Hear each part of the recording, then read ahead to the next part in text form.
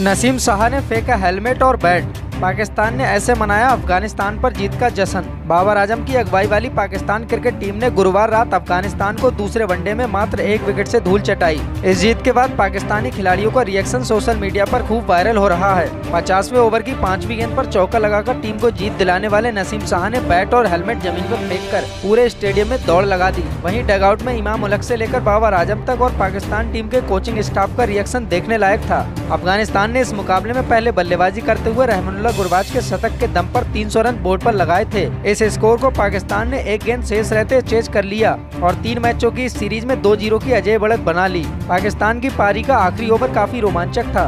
उनचासवें over में सादाब खान ने 16 run बटोरकर अपनी टीम की मैच में वापसी कराई थी। आखिरी ओवर में अब पाकिस्तान को जीत के लिए मात्र 11 रनों की दरकार थी और उनके हाथों में दो विकेट शेष थे।